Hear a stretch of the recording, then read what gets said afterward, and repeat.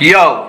What's up, what's up sa inyo mga kawanlab na ako nga po pala si Jake Magnus King of Crazy at nandito ka ngayon sa Jake Magnus TV Ano po? So ang pag-uusapan natin mga kawanlab ay wala lang namang iba Kung hindi, etong perang nagastos ni Mr. Chang Alam ko maraming tumatakbo sa inyong isipan Kung magkano nga ba ang nagastos na pera ni Mr. Chang dito sa Pilipinas Kung magkano nga ba ang naubos niya dito sa Pilipinas. Kung matatandaan nyo mga kawanlab, ano, sinabi ko na kahapon sa aking live na diniscuss natin yung video ni Trending Now na kung saan mga kawanlab ay sinabi ni Mr. Bulbol na makakasuhan ka kapag ka ikaw ay naging over limit or pupunta ka ng ibang bansa tapos ang dadalhin mong pera ay sobra-sobra, pwede kang makasuhan yan. Doon sa bansa po mismo nila ay bawal po yung maglabas ka ng pera galing sa bansa mo papunta sa ibang bansa. Yung magsabi ko nga po kanina, yung over limit. Ano po? At yan po yung pag-uusapan natin kung magkano nga ba ang inabot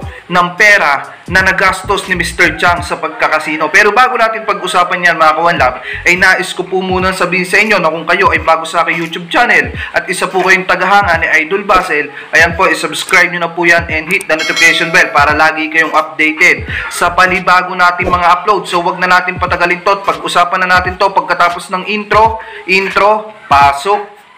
Alam mo bang isang dahilan kung ba't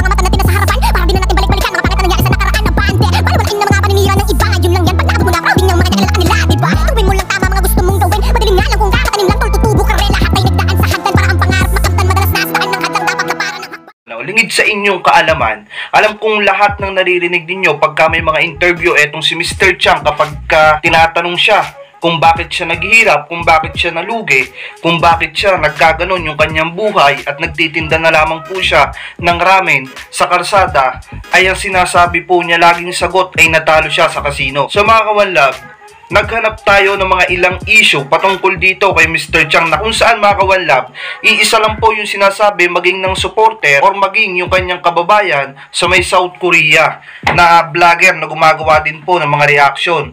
Tulad na lamang po nung sabi ni Mr. Bulbul at saka nung aking supporter na nasa 300 to 350 million yung nagastos na pera nitong si Mr. Chang dahil lamang po sa gambling, dahil lamang sa pagsusugal. So mga kawanlab, kung iisipin natin yung 300 to 350 million ay napakalaki na po nung halaga.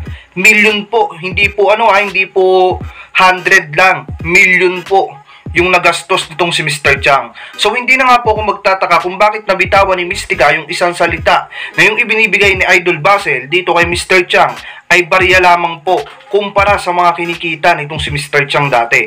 So mga kawalab, napakalaki ng kinikita nitong si Mr. Chang, napakalaki nung kanyang negosyo, napakalaki nung nagiging pera niya. Pero lahat ng yun ay nawala, lahat yun ay naglaho. At sabi ni Mr. Bulbul, ano po, kaya bumalik ng South Korea yung kanyang asawa is dahil magko-COVID or dahil uh, magla-lockdown or dahil may pandemic. At yung isang rason kung bakit napapunta ng South Korea yung kanyang asawa ay dahil sa depression. Bakit ka mo? Kasi sino ba naman ang hindi madidepress sa ganun kalaking pera na nasayang at naipatalo nitong si Mr. Chang sa pagsusugal. Kung iisipin natin mga kawanlab, talagang imposible. 300 to 350 million na ubos sa sugal lamang. Ano po, naubos sa gambling. Naubos sa ganun-ganun na lamang po. Wala pong naipundar si Mr. Chang at wala pong natira sa kanya kahit 5. Ang tanging na lamang po niyang ikinabubuhay ngayon ay pagtitinda ng ramen. Alam ko naman pong alam niyo yan, simulat sa pulpa lamang. Pero sa bawat interview ni Mr. Chang, may napapansin ako na lagi niyang isinasagot is napakayaman niya dati at yung kanyang kayamanan ay naubos dahil lamang po sa sugal. Kaya nagkaroon ako ng idea para maghanap kung magkano nga ba ang pera na naubos nitong si Mr. Chang. Ano po, at napag-alaman ko na 300 to 350 million yung kanyang inubos lang naman. So, grabe, napakalaking pera nun, mga kawanlab, kung iisipin natin.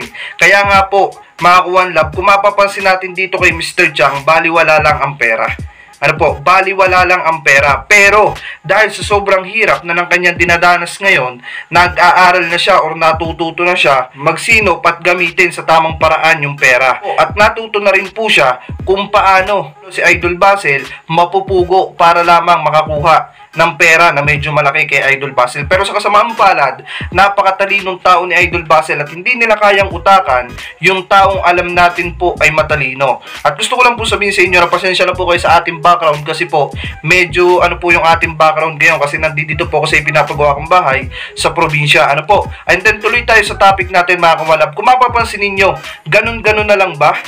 Yung matapos nilang siraan, matapos nilang mag-ingay sa social media, ay ngayon po sila ay nananahimik na. Walang vlog si Chong Bobby, walang vlog si na Mystica patungkol dito kay Idol Basel. So sabi ko naman sa inyo mga kawanlab, ano po, hindi po magtatagumpay yung taong gumagawa ng masama laban sa kapwa niya ano po, hindi po magtatagumpay yung taong naninira ng kapwa niya tao na wala naman pong ginawa laban po sa kanila.